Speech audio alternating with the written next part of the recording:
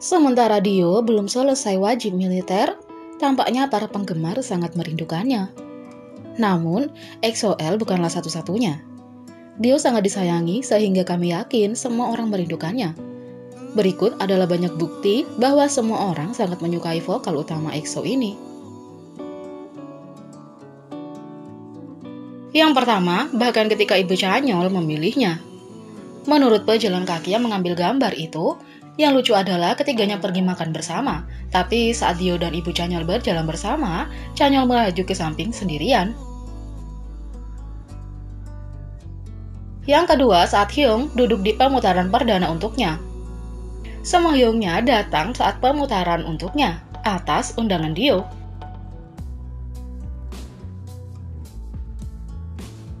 Yang ketiga, aktor terkenal hanya memujanya. Dio sendiri telah mengerjakan beberapa pekerjaan di mana dia semakin dekat dengan pemeran lainnya. Tampaknya semua pemeran yang dia temui akhirnya jatuh cinta padanya. Lihatlah betapa memujanya Jo Jung Sok sambil menepuk kepala Dio. Dia bahkan menyuruh Jo In Song mengibarkan spanduk bertuliskan Kyung Soya, Do Kyung So. Lee Kwang Soo tidak terkecuali. Ketiganya bahkan mengadakan pesta perayaan kecil Konon, grup ini sering berkumpul bersama, dan kami melihat banyak wajah terkenal di sana, termasuk aktor Lim Joo Hwan dan Kim Woo Bin.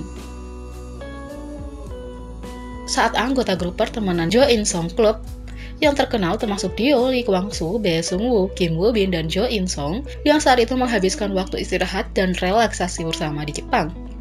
Sementara semua orang telah meleleh karena teman-teman ini mengambil liburan bersama, satu momen dari kepulangan mereka ternyata jauh lebih manis daripada yang seharusnya.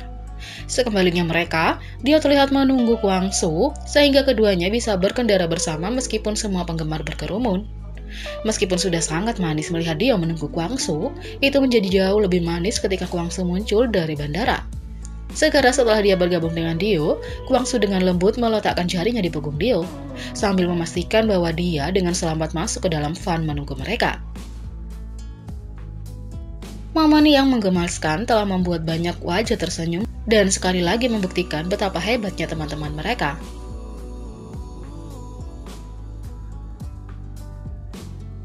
Yang keempat, semua orang menyukai lagu hitnya It's Okay dari Ayu yang merekomendasikan sebagai lagu yang didengarkan saat Anda pulang kerja,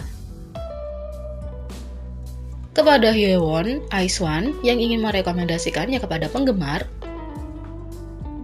bahkan Hyungwon, Monster X tidak pernah merasa cukup.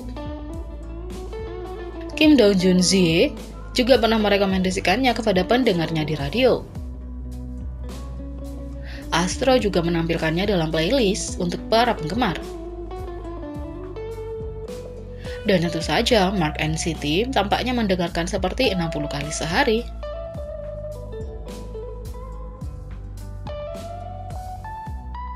Yang kelima, Park Ji-sun menyebut Dio sebagai selebriti yang dia temui dengan kepribadian terbaik. MC dan komedian Park Ji-sun mengunjungi sekolah. Saat sesi tanya jawab, dia menyebutkan Dio, yang juga dikenal sebagai Do Kyung So, sebagai selebriti paling ramah yang pernah dia temui. Salah satu siswa bertanya, siapa selebritas yang Anda temui yang memiliki kepribadian terbaik? Dia ingat saat dia bertemu Dio, selama waktunya menjadi MC untuk showcase EXO, dia berkata bahwa semua member itu baik, tapi Dio sangat baik, bahkan memeluknya dan berterima kasih padanya. Dio juga pernah menjadi sorotan karena sikap hangat yang dia lakukan terhadap komedian Park Ji-sun ini. Park Ji-sun rupanya menghadiri kuliah di sekolah menengah dan berbagi beberapa hal tentang Dio. Dia adalah pria yang baik. Saya belum pernah melihat orang yang tidak memujinya. Dia memiliki karakter yang bagus, dia benar-benar yang terbaik. Saya memiliki fotonya di lemari pakaian saya, kata Park Ji-sun. Dia kemudian berbicara tentang apa yang terjadi di sebuah acara pada bulan Desember 2018 untuk filmnya Swing Kids. Park Ji-sun berdiri di samping sementara para aktor bersuah foto dengan penonton. Park Ji-sun berdiri di samping sementara para aktor bersuah foto dengan penonton. Saya bersamanya di sebuah acara untuk Swing Kids. Para aktor dan penonton mengambil foto di akhir dan dia memanggil saya. Saya adalah MC jadi saya tidak bisa ada di dalam gambar, kata Park Ji-sun. Namun ketika dia menyadari hal ini, dia memanggilnya dan mengundangnya untuk berfoto bersama sehingga dia tidak merasa tersisi. Saya berkata, tidak apa-apa, Tetapi dia menyuruh saya datang dan berkata, kamu bekerja paling keras. Jadi saya akhirnya berfoto dengan mereka, kata Pak Jason. Berkat sikap hangat Dio, Park Jason datang dan berfoto bersama dan mampu menciptakan kenangan yang baik. Park Jason terus berbagi banyak hal yang baik tentang Dio, bahkan menyebutkan tentang betapa manisnya dia di siaran radio tahun lalu. Dia berkata, setelah showcase, saya turun dan Do Kyung Soo masih di sana, jadi saya menyapanya lagi. Dia menyapa aku, jadi aku akan menjabat tangannya, tapi dia datang dan memelukku. Tapi sikapnya sangat alami, jadi saya sangat tersentuh. Setelah mendengar cerita tentang Dio ini, penggemar kembali jatuh cinta padanya. Yang keenam, Lee Jin dari Produce X101. Lee Jin menyebut Dio sebagai alasan dia memutuskan untuk menjadi trainee. Sebagai salah satu dari hanya dua trainee individu dari Produce X101 yang sebelumnya debut sebagai aktor dalam drama JTBC Sky Castle, banyak orang bertanya-tanya apa yang mendorong Lee Jin untuk memulai pelatihan sebagai idola. Sekarang jawabannya telah terungkap dan itu memerlukan hati semua orang. Pada episode Produce X11, Eugene mengungkapkan bahwa itu semua karena Dio. Semuanya dimulai dengan menonton Dio membintangi Swing Kids. Saya menonton film Swing Kids yang Dio Sun Benim bintangi, dan setelah menontonnya aku ingin menjadi seperti dia, kata Lee Eugene.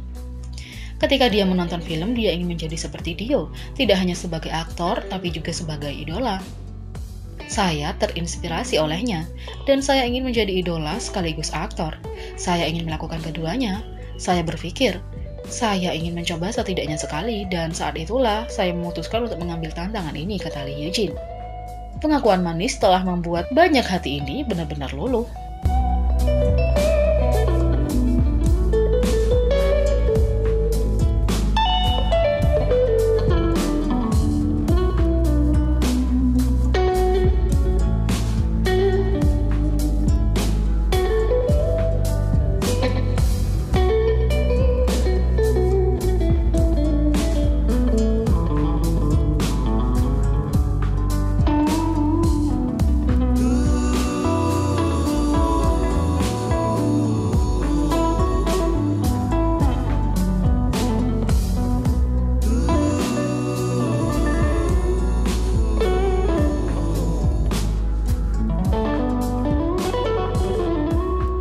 Jadi bagaimana menurut kalian tentang Dio ini? Apakah kalian merindukannya juga? Beri komentar di bawah. Klik subscribe, like, share, dan klik lonceng. Mari kita sama-sama jadikan channel ini berguna bagi K-pop Indonesia. Sekian video kali ini, sampai jumpa lagi.